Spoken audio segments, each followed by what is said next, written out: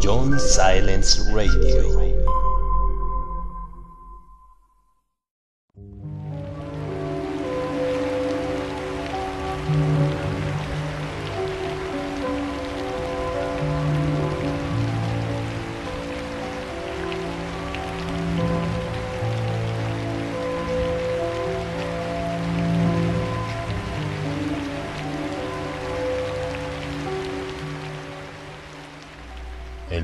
De Dunwich. Parte 2. De Howard Philip Lovecraft. En la voz de John Silence.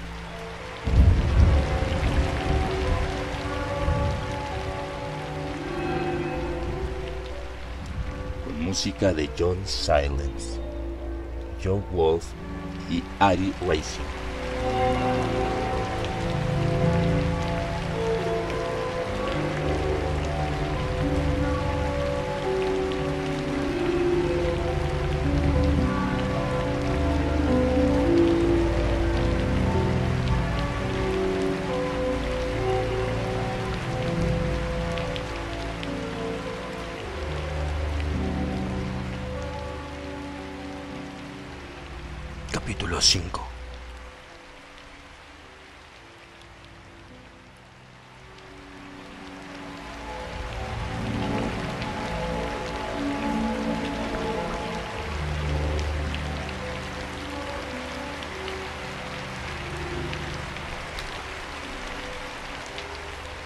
Aquel invierno trajo consigo el nada desdeñable acontecimiento del primer viaje de Wilbur fuera de la comarca de Dunwich.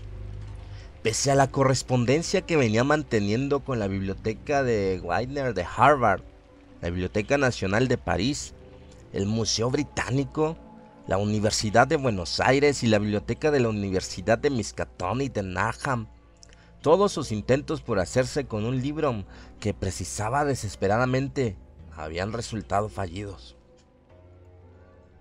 En vista de lo cual, a la postre, acabó por desplazarse en persona, todo andrajoso y mugriento, con la barba sin cuidar y aquel nada pulido dialecto que hablaba, a consultar el ejemplar que se conservaba en Miskatonic, la biblioteca más próxima a Dunwich.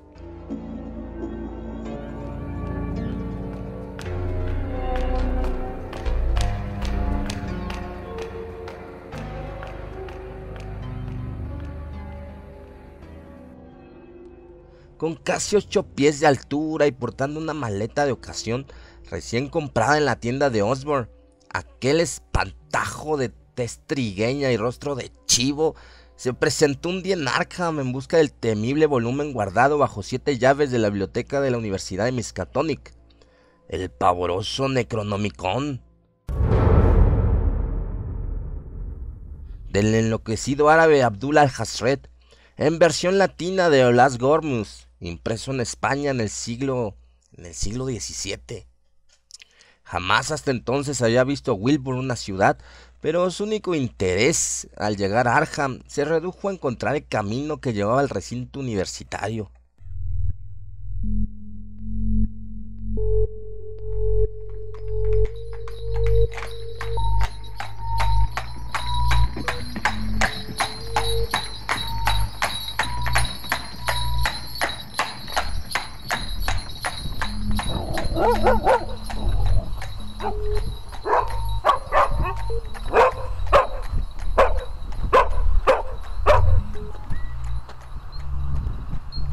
Una vez allí, pasó sin inmutarse por delante del gran perro guardián de la entrada que se echó a ladrar, mostrándoles sus blancos colmillos con inusitado furor, al tiempo que tiraba con violencia de la gruesa cadena a la que estaba atado.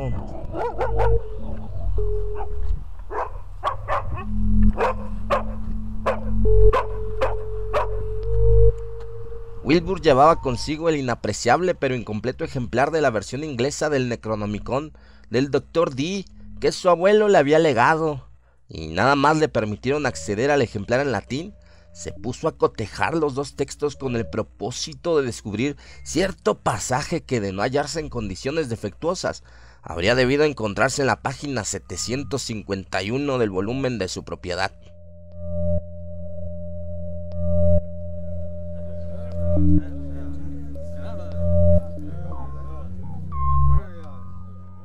Por más que intentó refrenarse, no pudo dejar de decírselo con buenos modales al bibliotecario Henry Armitage, hombre de gran erudición y licenciado en Miskatonic, doctor por la Universidad de Princeton y por la Universidad de Johns Hopkins, que en cierta ocasión había acudido a visitarle a la granja de Dunwich y que ahora, en buen tono, le acribillaba preguntas. Wilbur acabó por decirle que buscaba una especie de conjuro o fórmula mágica que contuviese el espantoso nombre de Yoxothot, pero las discrepancias, repeticiones y ambigüedades existentes complicaban la tarea de su localización, humiéndole en un mar de dudas.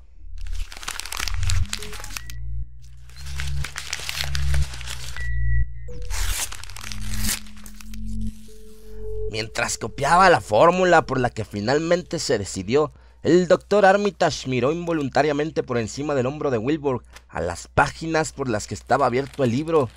La que se veía a la izquierda, en la versión latina del Necronomicon, contenía toda una retaíla de estremecedoras amenazas contra la paz y el bienestar del mundo.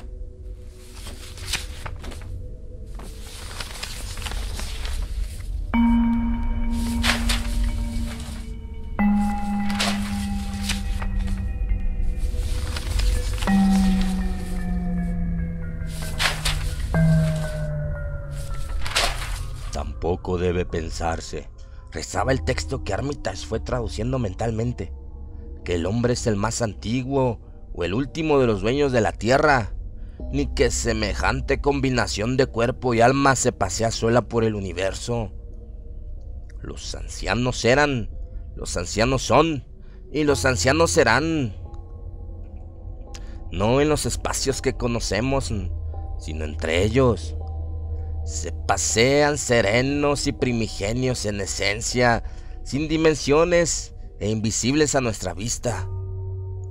Yoxothot conoce la puerta. Yoxothot es la puerta. Yoxothot es la llave y el guardián de la puerta. Pasado, presente y futuro, todo es uno en Yoxothot. Él sabe por dónde entraron los ancianos en el pasado ¿Y por dónde volverán a hacerlo cuando llegue la ocasión? Él sabe qué regiones de la tierra hollaron, dónde siguen hoy hollando y por qué nadie puede verlos en su avance. Los hombres perciben a veces su presencia por el olor que despiden, pero ningún ser humano puede ver su semblante, salvo únicamente a través de las facciones de los hombres engendrados por ellos, y son de las más diversas especies, difiriendo en apariencia desde la mismísima imagen del hombre hasta esas figuras invisibles o sin sustancia que son ellos.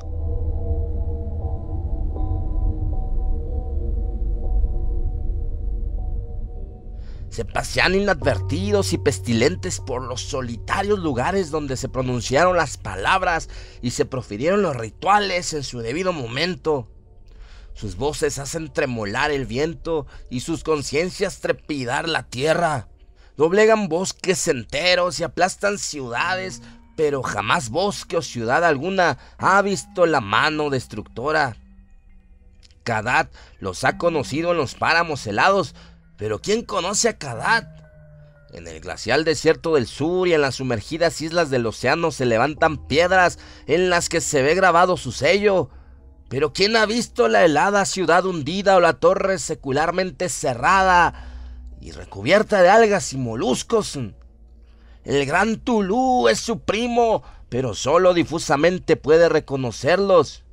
¡Ia! ¡Shuvnigurat! Por su insano olor los conoceréis. Su mano os aprieta las gargantas, pero ni aun así los veis, y su morada es una misma en el umbral que guardáis. Yoxothot es la llave que abre la puerta por donde las esferas se encuentran. El hombre rige ahora donde antes regían ellos, pero pronto regirán ellos donde ahora rige el hombre. Tras el verano, el invierno, tras el invierno, el verano. Aguarden pacientes y confiados, pues saben que volverán a reinar sobre la tierra.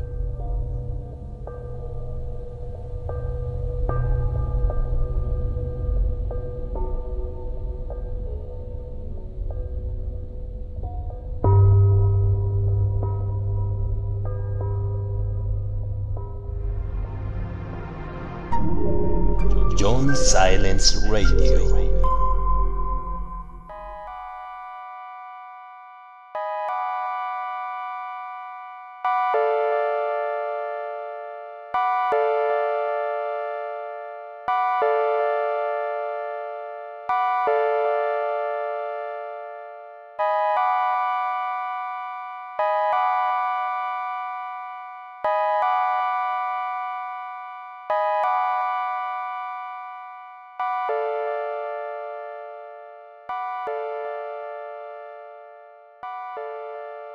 Asociar el doctor Armitage lo que leía con lo que había oído, con lo que había oído hablar de Donwich y sus misteriosas apariciones y de la lúgubre y horrible aureola que rodeaba a Wilbur Wathily y que iba desde un nacimiento en circunstancias más que extrañas hasta una fundada sospecha de matricidio.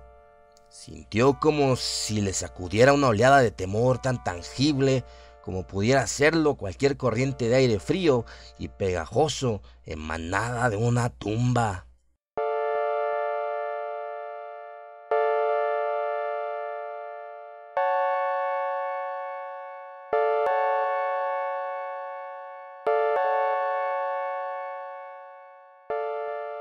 Parecía como si el gigante de cara de chivo enfrascado en la lectura de aquel libro hubiese sido engendrado en otro planeta o dimensión, como si solo parcialmente fuese humano y procediese de los tenebrosos abismos de una esencia, y una entidad que se extendía cual titánico fantasma allende las esferas de la fuerza y la materia, y el espacio y el tiempo.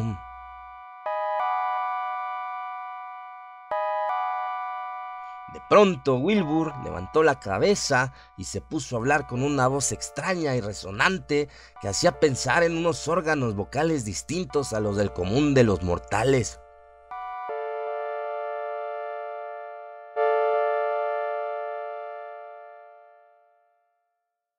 Mr. Armitage, dijo, me temo que voy a tener que llevarme el libro a casa.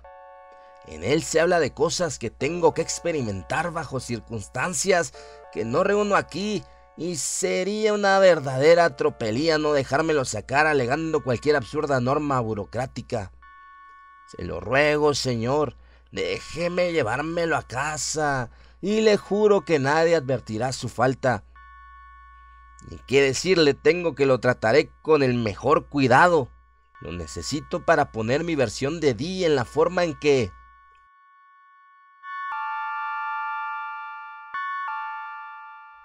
Se interrumpió al ver la resuelta expresión negativa dibujada en la cara del bibliotecario, y al punto sus facciones de chivo adquirieron un aire de astucia. Armitage, cuando estaba ya a punto de decirle que podía sacar copia de cuanto precisara, pensó de repente en las consecuencias que podrían originarse de semejante contravención y se echó atrás. Era una responsabilidad demasiado grande entregar a aquella monstruosa criatura la llave de acceso a tan tenebrosas esferas de lo exterior. Wathily, al ver el cáliz que tomaban las cosas, trató de poner la mejor cara posible. Bueno, ¿qué le vamos a hacer si se pone así? A ver si en Harvard no son tan picajosos y hay más suerte.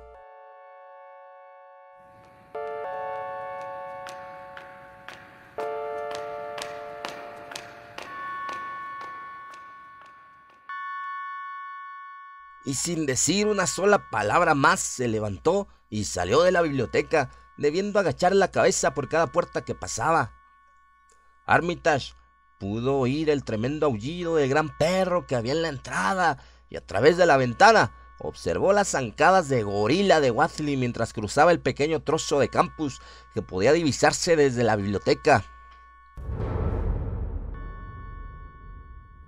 Le vinieron a la memoria las espantosas historias que habían llegado a sus oídos y recordó lo que se decía de las ediciones dominicales del Advertiser, así como las impresiones que pudo recoger entre los campesinos y vecinos de Dunwich durante su visita a la localidad. Horribles y malolientes seres invisibles que no eran de la Tierra, o al menos no de la Tierra tridimensional que conocemos, corrían por los barrancos de Nueva Inglaterra y acechaban impúdicamente desde las montañosas cumbres.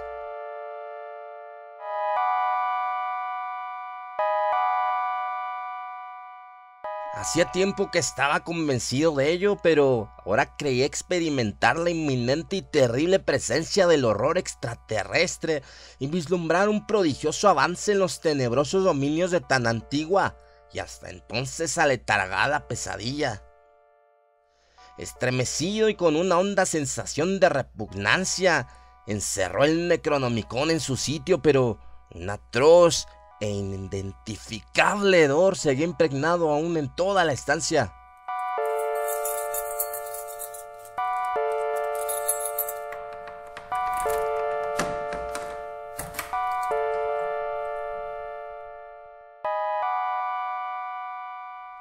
Por su insano olor los conoceréis, recordó lo que había leído. Sí, no cabía duda, aquel fétido olor era el mismo que hacía menos de tres años le provocó náuseas en la granja de Wathley.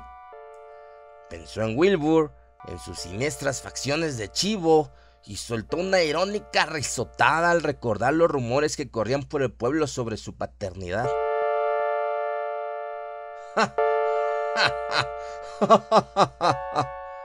Incestuoso vástago. Armitage murmuró casi en voz alta para sus adentros. Dios mío, pero serán simplones. Dales a leer el gran dios Pan de Arthur McKean y creerán que se trata de un escándalo normal y corriente como los de Dunwich. pero qué informe y maldita criatura salida o no de esta tierra tridimensional era el padre de Wilbur Wathley.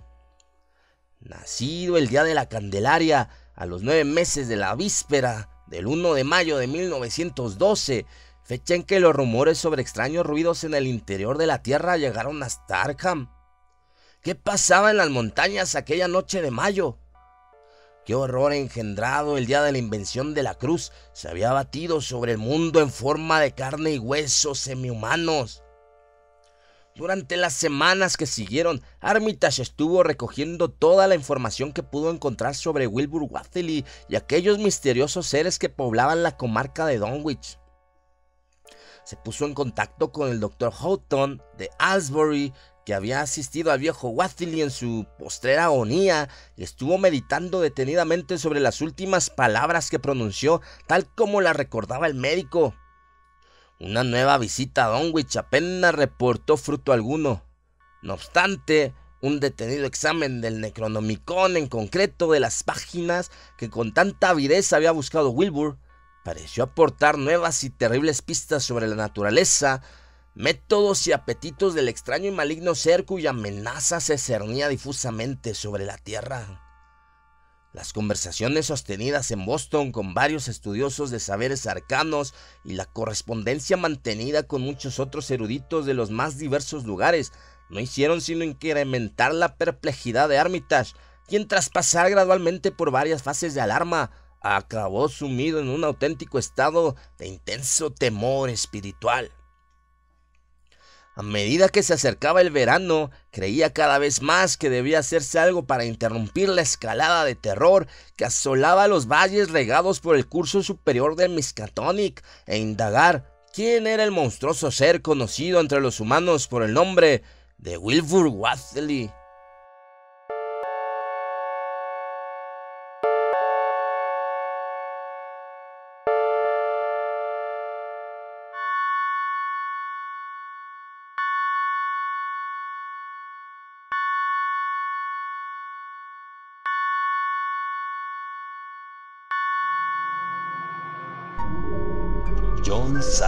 Radio.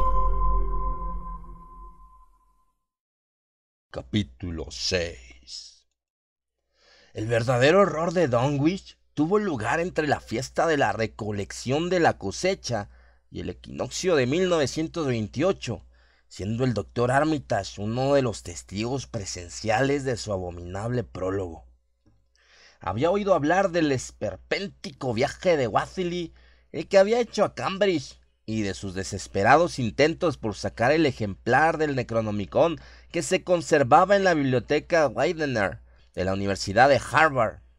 Pero todos sus esfuerzos fueron vanos, pues Armitage había puesto en estado de alerta a todos los bibliotecarios que tenían a su cargo la custodia de un ejemplar del arcano volumen. Wilbur se había mostrado asombrosamente nervioso en Cambridge. Estaba ansioso por conseguir el libro y no menos por regresar a casa como si temiera las consecuencias de una larga ausencia.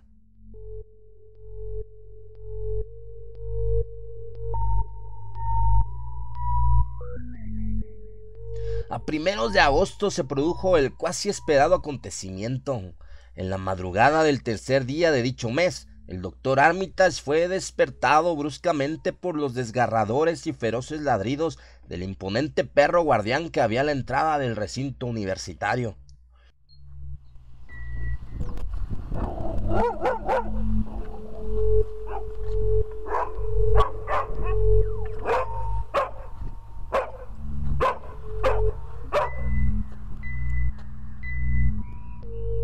Los estridentes y terribles gruñidos alternaban con desgarradores aullidos y ladridos, como si el perro se hubiese vuelto rabioso. Los ruidos iban en continuo aumento, pero entrecortados, dejando entre sí pausas terriblemente significativas.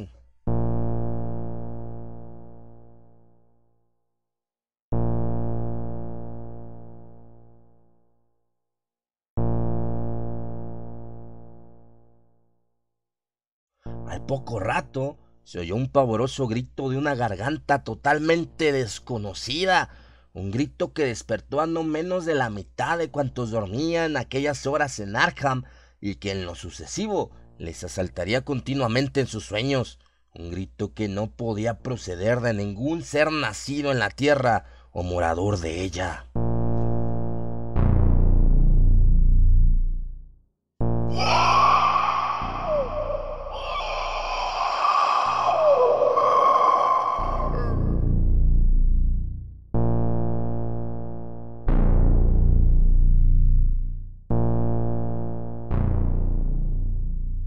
Armitage se puso rápidamente algo de ropa por encima y echó a correr por los paseos y jardines hasta llegar a los edificios universitarios, donde pudo ver que otros se le habían adelantado.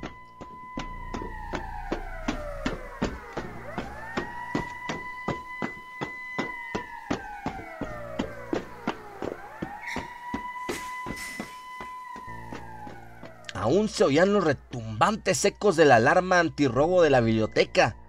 A la luz de la luna se divisaba una ventana abierta de par en par mostrando las abisales tinieblas que encerraba. Quienquiera que hubiese intentado entrar habría logrado su propósito, pues los ladridos y gritos que pronto acabarían confundiéndose en una sorda profusión de aullidos y gemidos procedían indudablemente del interior del edificio.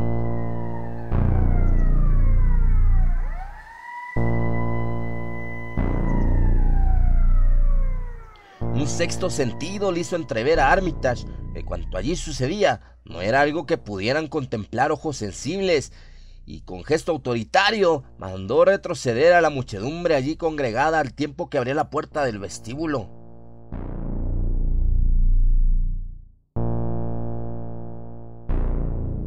Entre los allí reunidos vio al profesor Barren Rice y al doctor Francis Morgan, a quienes tiempo atrás había hecho partícipes de algunas de sus conjeturas y temores, y con la mano les hizo una señal para que le siguiesen al interior.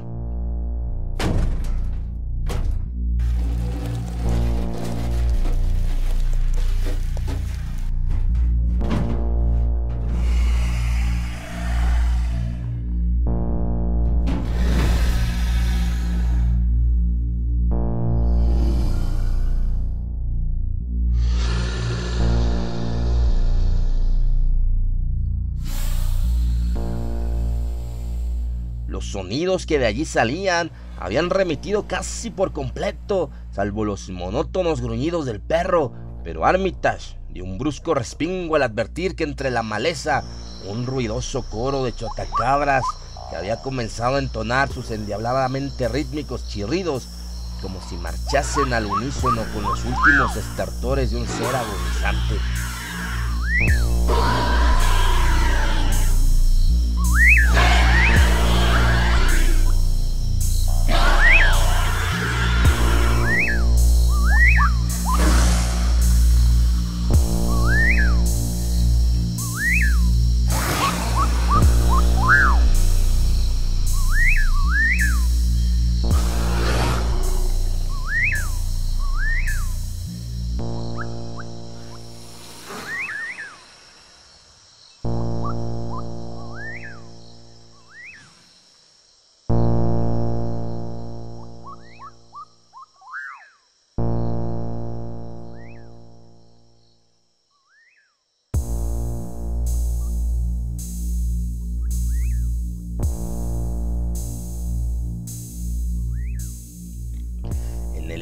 Entero reinaba un insoportable hedor que le resultaba harto familiar a Armitage, quien en compañía de los dos profesores se lanzó corriendo por el vestíbulo hasta llegar a la salita de lectura de temas genealógicos, de donde salían los sordos gemidos.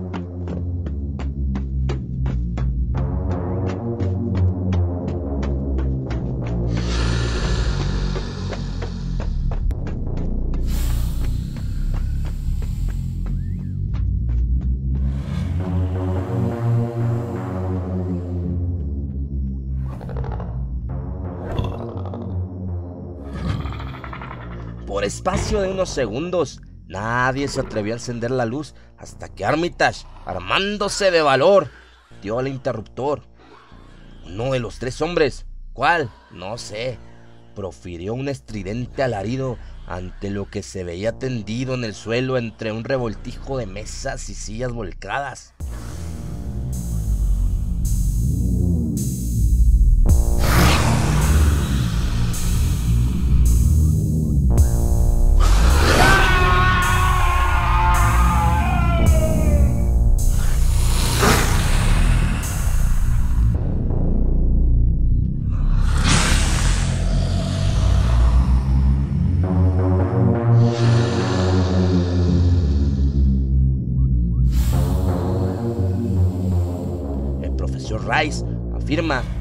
Unos instantes perdió el sentido, si bien sus piernas no flaquearon ni llegó a caerse al suelo. En el piso, encima de un fétido charco de líquido purulento entre amarillento y verdoso y una viscosidad bituminosa, yacía medio recostado una criatura de casi nueve pies de estatura, al que el perro había desgarrado toda la ropa y algunos trozos de piel. Aún no había muerto. Se retorcía en medio de silenciosos espasmos, al tiempo que su pecho jadeaba el abominable compás de los estridentes chirridos de las chotacabras que expectantes miraban desde afuera de la sala.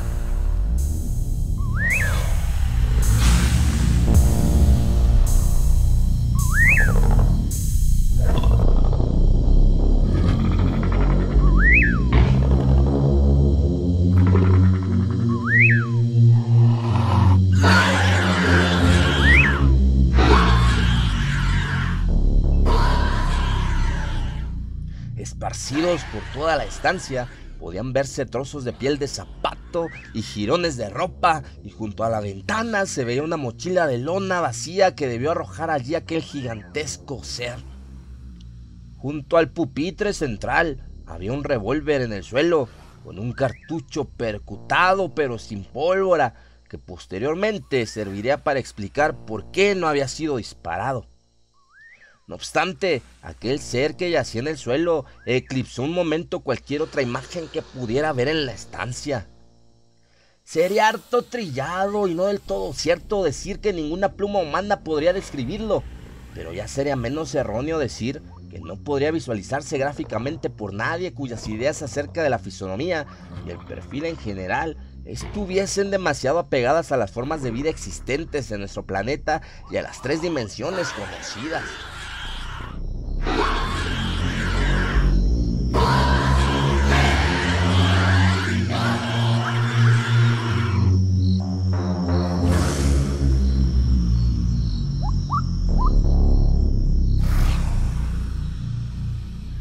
No cabía duda que en parte se trataba de una criatura humana con manos y cabeza de hombre, y en tanto su rostro chotuno y sin mentón llevaba el inconfundible sello de los Wathili.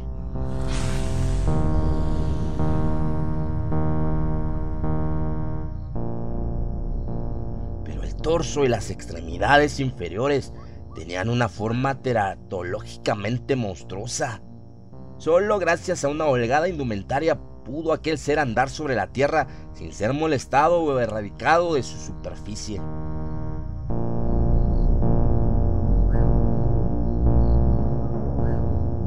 Por encima de la cintura era un ser cuasi antropomórfico, aunque el pecho, sobre el que aún se hallaban posadas las desgarradoras patas del perro, tenía el corrioso y reticulado pellejo de un cocodrilo o de un lagarto. La espalda tenía un color moteado entre amarillo y negro y recordaba vagamente la escamosa piel de ciertas especies de serpientes. Pero con diferencia, lo más monstruoso de todo el cuerpo era la parte inferior. A partir de la cintura desaparecía toda semejanza con el cuerpo humano y comenzaba la más desenfrenada fantasía que cabe imaginarse.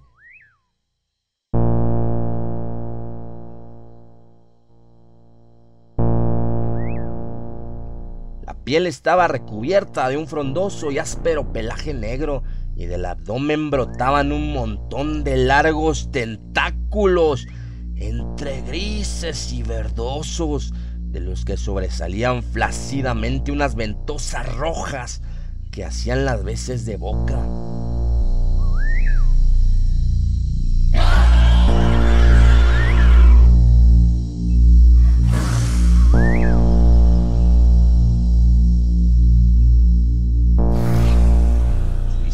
Era de lo más extraño y parecía seguir las simetrías de alguna geometría cósmica desconocida en la Tierra e incluso en el sistema solar.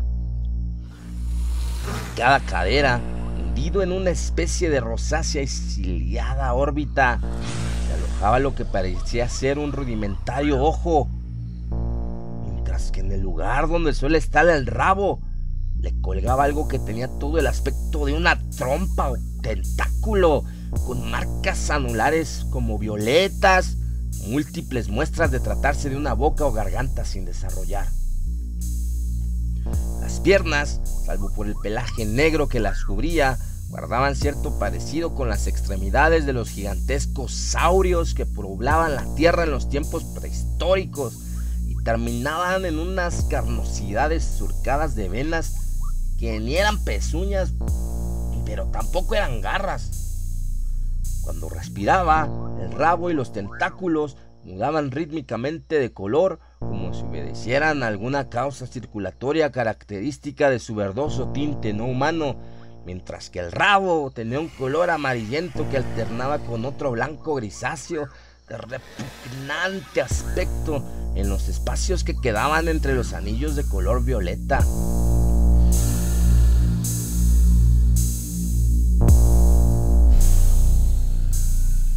Sangre no había ni rastro, solo el fétido y purulento líquido verdoso amarillento que corría por el piso más allá del pringoso círculo, dejando tras de sí una curiosa y descolorida mancha.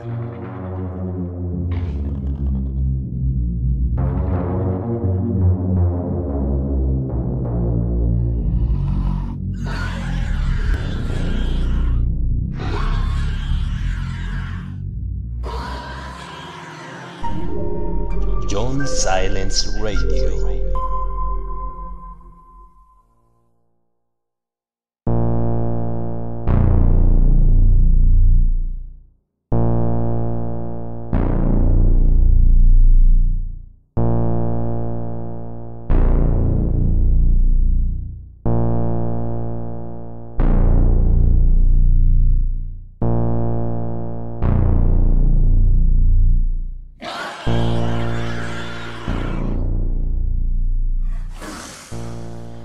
Presencia de los tres hombres debió despertar al moribundo ser allí tirado, que se puso a balbucir sin siquiera volver ni levantar la cabeza.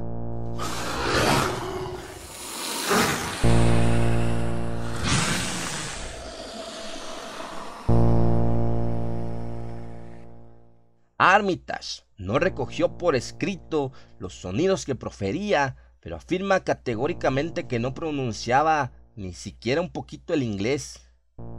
Al principio las sílabas desafiaban toda posible comparación con ningún lenguaje conocido de la Tierra, pero ya hacia el final articuló unos incoherentes fragmentos que evidentemente procedían del Necronomicon, el abominable libro cuya búsqueda iba a costarle la muerte.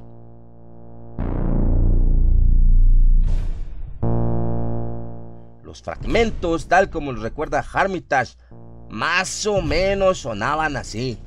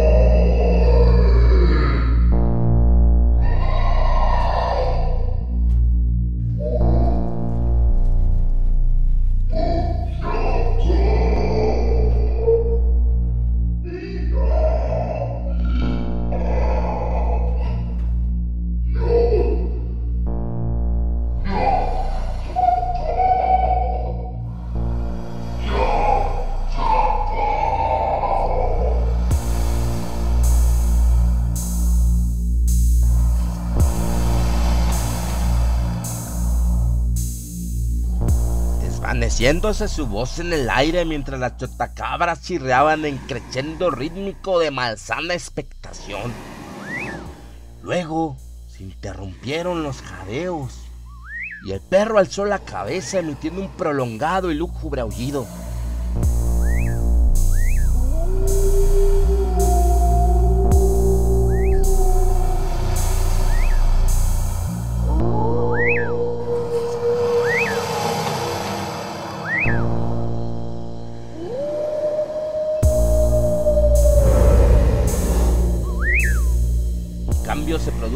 Faz amarillenta y chotuna de aquel ser postrado en el suelo, al tiempo que sus grandes ojos negros se hundían pasmosamente en sus cavidades.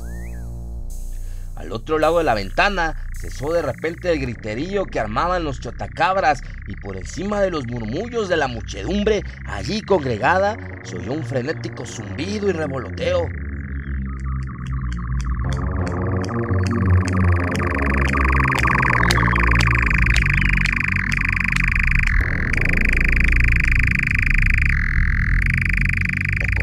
Contra el trasfondo de la luna podían verse grandes nubes de alados vigías expectantes que alzaban el vuelo y oían de la vista, espantados solo de ver la presa sobre la que se disponían a lanzarse.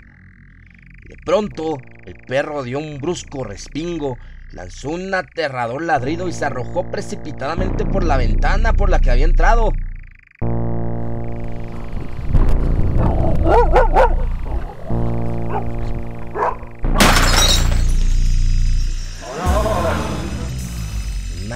Salió de la expectante multitud mientras Armitage decía a gritos a los hombres que aguardaban afuera que en tanto llegase la policía o el forense no podrían entrar en la sala. Afortunadamente, las ventanas eran lo suficientemente altas como para que nadie pudiera asomarse. Para mayor seguridad, echó las oscuras cortinas con sumo cuidado. Entre tanto llegaron dos policías y el doctor Morgan, que salió a su encuentro al vestíbulo les instó a que por su propio bien aguardasen a entrar en la hedionda sala de lecturas hasta que llegara el forense y pudiera cubrirse el cuerpo del ser allí postrado.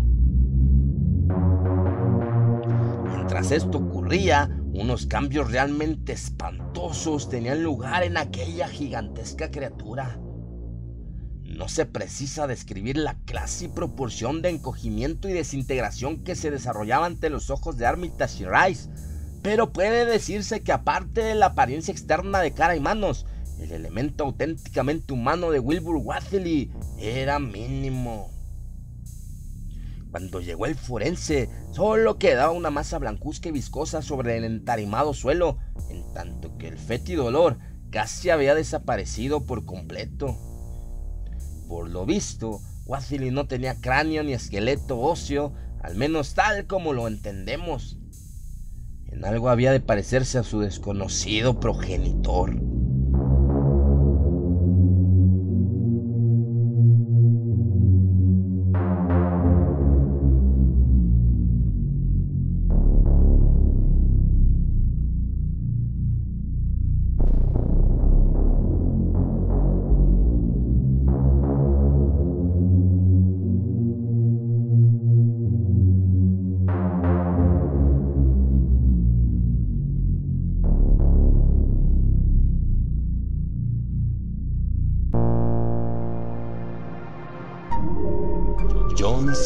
Silence Radio.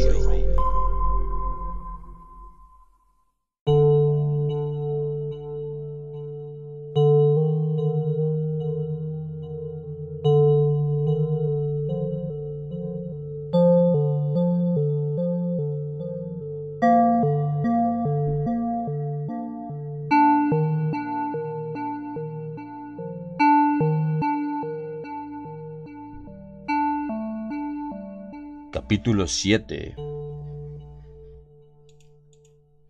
Pero este no fue sino simplemente el prólogo del verdadero horror de Donwich. Las autoridades oficiales, desconcertadas, llevaron a cabo todas las formalidades debidas, silenciando acertadamente los detalles más alarmantes para que no llegasen a oídos de la prensa y el público en general. Mientras, unos funcionarios se personaron en Dunwich y Aylesbury para levantar acta las propiedades del difunto Wilbur y notificar en consecuencia a quienes pudieran ser sus legítimos herederos. A su llegada, encontraron a la gente de la comarca presa de una agitación, tanto por el fragor creciente que se oía en las abovedadas montañas, como por el insoportable olor y sonidos semejantes a un oleaje o chapoteo que salían cada vez con mayor intensidad de aquella especie de gran estructura vacía que era la granja herméticamente entablada de los Wathley.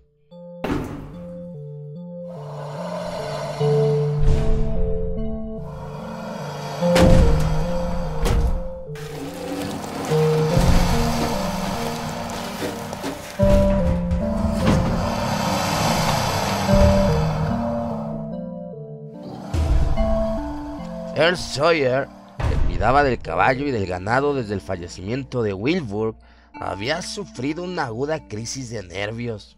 Los funcionarios hallaron enseguida una disculpa para que nadie entrase en el hediondo y cerrado edificio, limitándose a girar una rápida inspección a los aposentos que habitaba el difunto, es decir, a los cobertizos que Wilbur había condicionado en fecha reciente redactaron un voluminoso informe que llevaron al juzgado de Aylesbury y según parece, los pleitos sobre el destino de la herencia siguen aún sin resolverse entre los innumerables Wathley, tanto de la rama degenerada como la de sin degenerar, que viven en el valle regado por el curso superior del Miskatonic. Un casi interminable manuscrito redactado en extraños caracteres en un gran libro mayor y que daba toda la impresión de una especie de diario por las separaciones existentes y las variaciones de tinta y caligrafía, desconcertó por completo a quienes lo encontraron en el viejo escritorio que hacía las veces de mesa del trabajo de Wilbur.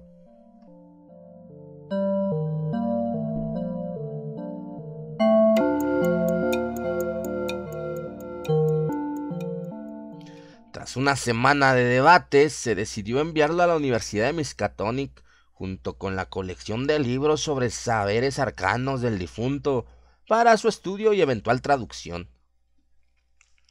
Pero al poco tiempo hasta los mejores lingüistas comprendieron que no iba a ser tarea fácil descifrarlo. No se encontró en cambio la menor huella del antiguo oro con el que Wilbur y el viejo Wathley solían pagar sus deudas.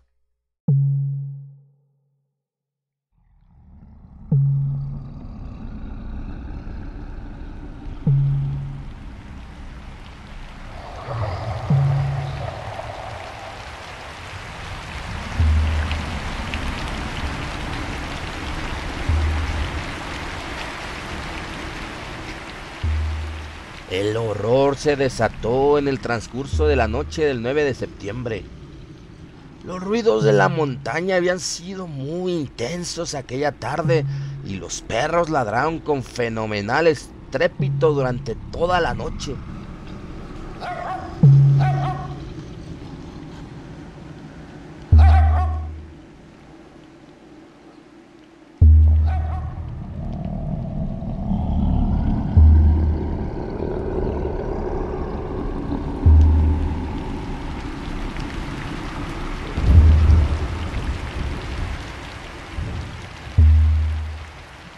Quienes madrugaron el día 10 advirtieron un peculiar hedor en la atmósfera.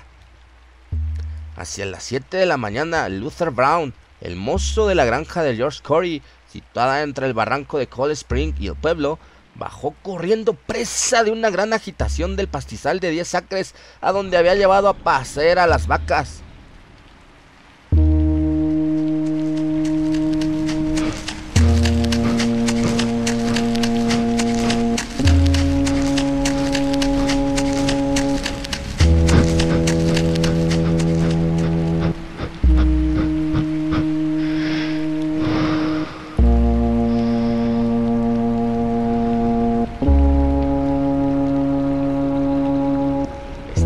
de espanto cuando entró a trompicones en la cocina de la granja, mientras las no menos despavoridas vacas se ponían a patalear y mugir en tono lastimero en el corral, tras seguir al chico todo el camino de vuelta tan atemorizadas como él.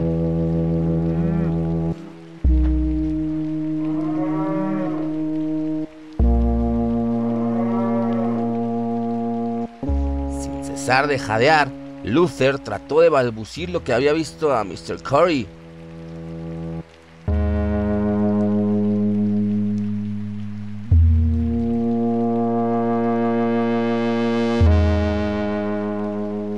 Arriba, en el camino, ¡Ay, por encima del barranco, Mr. Cory! Algo pasa allí. Es como si hubiese caído un rayo. Todos los matorrales y arbolillos del camino han sido cegados como si toda una casa les hubiera pasado encima. Y esto no es lo peor, Kia. Hay huellas en el camino. Mr. Cory, tremendas huellas circulares tan grandes como en la tapa de un tonel y muy hundidas en la tierra como si hubiese pasado un elefante por allí. Solo que las huellas tendrán más de cuatro pies. Miré de cerca una o dos antes de salir corriendo y pude ver que todas estaban cubiertas por unas líneas que salían del mismo lugar, en abanico como si fuesen grandes hojas de palmera, solo que dos o tres más grandes, incrustadas en el camino. El olor era insoportable. Igual que el que se respira cerca de la vieja casa de los Waffley.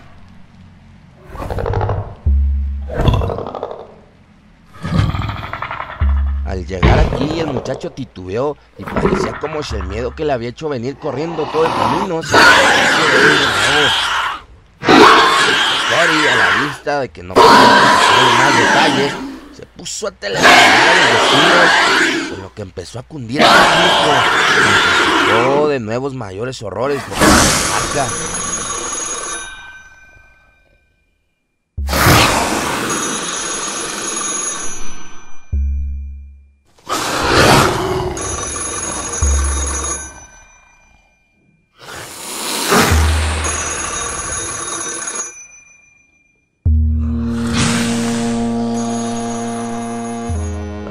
Sally Sawyer, ama de llaves en la granja de Seth Bishop, la finca más próxima a la de los Wathley, le tocó escuchar en lugar de hablar, pues el hijo de Solly, Chauncey, que no podía dormir, había subido por la ladera en dirección a la casa de los Wathley y bajó corriendo a toda prisa, aterrado de espanto, tras echar una mirada a la granja y al pastizal, donde habían pasado toda la noche las vacas de los Bishop.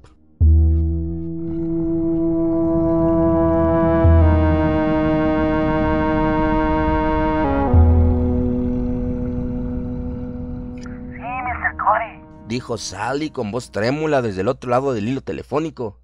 Chauncey acaba de regresar despavorido y casi no podía ni hablar del miedo que traía. Dice que la casa entera del viejo Waffley ha volado por los aires y que hay un montón de restos de madera desperdigados por el suelo como si hubiese estallado una carga de dinamita en su interior. Apenas queda otra cosa que el suelo de la planta baja pero está enteramente cubierto por una sustancia viscosa que huele horrible y corre por el suelo hasta donde están los trozos de madera desparramados. Y en el corral hay unas huellas espantosas, unas tremendas huellas de forma circular, más grandes que la tapa de un tonel, y todo está lleno de esa sustancia pegajosa que se ve en la casa destruida. Chauncey dice que el reguero llega hasta el pastizal, donde hay una franja de tierra mucho más grande que un establo, totalmente aplastada, y que por todos los sitios se ven vallas de piedra caídas por el suelo. Chauncey dice, Mr. Cory, que se quedó aterrado a la vista de las vacas de Seth.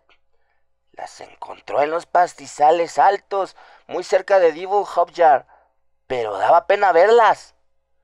La mitad estaban muertas y a casi el resto de las que quedaban les habían chupado la sangre y tenían unas llagas igualitas que las que les salieron al ganado de Watley a partir del día en que nació el rapaz negro ese de la viña. Seth ha salido a ver cómo están las vacas, aunque dudo mucho que se acerque a la granja del brujo Watley, ¿no? ¿Qué? John si no se paró a mirar qué dirección seguía el gran sendero aplastado una vez pasado el pastizal pero cree que se iba caminando, dirigiendo hacia el barranco que lleva al pueblo. Créame lo que le digo, Mr. Cory. Hay algo suelto por ahí que no me sugiere nada bueno. Y pienso que ese negro de Wilbur Watley, que tuvo el horrendo fin que merecía, está detrás de todo esto. No era humano. No, no era enteramente humano. Y conste que no es la primera vez que lo digo. El viejo Wadley debió estar criando algo aún menos humano que él en esa casa toda tapiada, toda llena de clavos. Siempre ha habido seres invisibles merodeando en torno a Dunwich. Seres invisibles que no tienen nada de humano ni presagian nada bueno.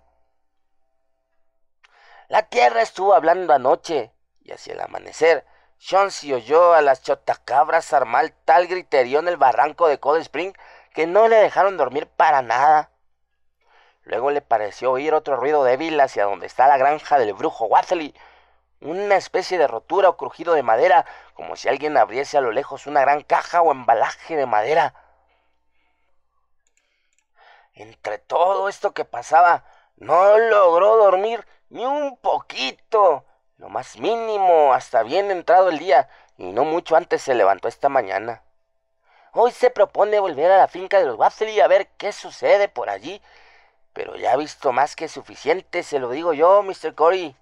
No sé qué pasará, no sé qué pasará, aunque no presagia nada bueno. Los hombres deberían organizarse e intentar hacer algo. Todo esto es verdaderamente espantoso. Y creo que se acerca mi turno. Solo Dios sabe qué va a pasar. Le ha dicho algo Luther de la dirección que seguían las gigantes huellas, ¿no? Pues mire, Mr. Corey, si estaban en este lado del camino del barranco y todavía no se han dejado ver por su casa, supongo que deben haber descendido al fondo del barranco. ¿Dónde más podrían estar? Yo siempre he dicho que el barranco de Cold Spring no es un lugar saludable y no me inspira la menor confianza. Las chotacabras y las luciérnagas que hay en sus entrañas no parecen criaturas de Dios, y hay quienes dicen que pueden oírse extraños ruidos y murmullos allá abajo si uno se pone a escuchar en el lugar apropiado, entre la cascada y la guarida del oso.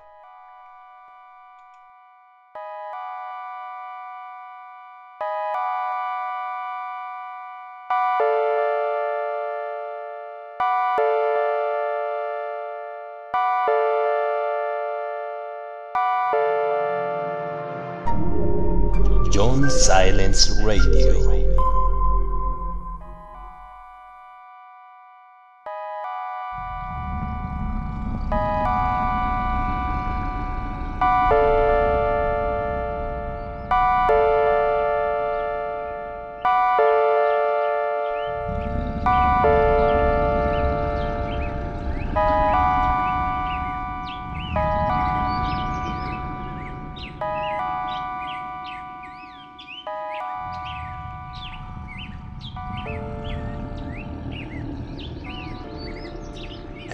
Mediodía, las tres cuartas partes de los hombres y jóvenes de Donwich salieron a dar una batida por los caminos y prados que había entre las recientes ruinas de lo que fuera la finca de los Bathley y el barranco de Cold Spring, comprobando aterrados con sus propios ojos las grandes y monstruosas huellas, las agonizantes vacas de Bishop, toda la misteriosa y apestosa desolación que reinaba sobre el lugar, y la vegetación aplastada y pulverizada por los campos y a orillas de la carretera.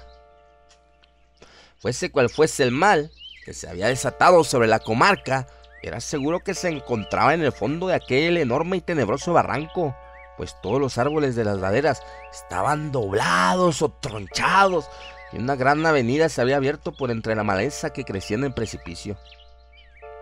Daba la impresión de una avalancha de que una avalancha hubiese arrastrado todo de una casa entera, precipitándola por la enmarañada floresta. Ahí se veía por la vertiente casi cortada a pico. Ningún ruido llegaba del fondo del barranco, tan solo se percibía un lejano e indefinible hedor. No tiene nada de extraño, pues que los hombres prefieran quedarse al borde del precipicio y ponerse a discutir, en lugar de bajar y meterse de lleno en el cubil de aquel desconocido horror ciclópeo.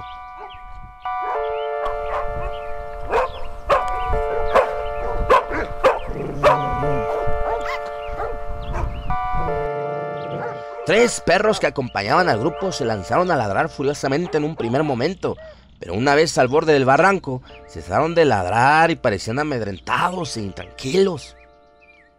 Alguien llamó por teléfono al Aylesbury Chronicle para comunicar la noticia, pero el director, acostumbrado a oír las más increíbles historias procedentes de Dunwich, se limitó a redactar un artículo humorístico sobre el tema, artículo que posteriormente sería reproducido por la Society Press.